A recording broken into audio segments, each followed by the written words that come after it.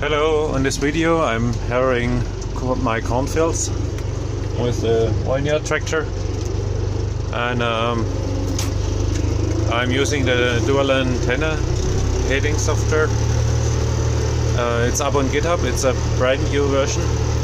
And uh, we fixed the problem with the connection loose of the relative position if the tractor uh, drives on rough ground and uh, wiggles left and right, the dual antenna system loses the relative connection, and uh, so you don't get any heading at all.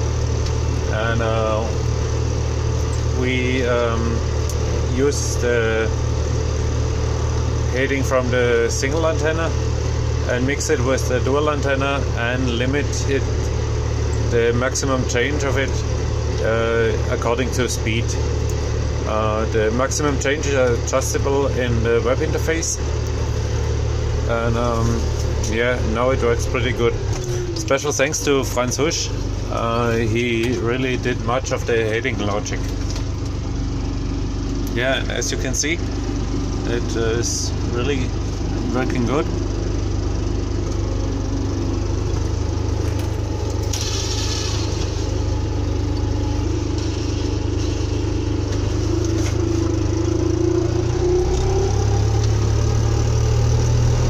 So thanks for watching.